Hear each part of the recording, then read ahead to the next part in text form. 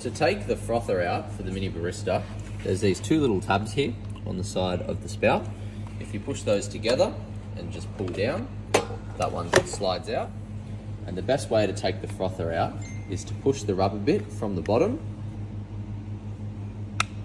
and the frother pops out like that. You'll see the minus and the plus here on the frother.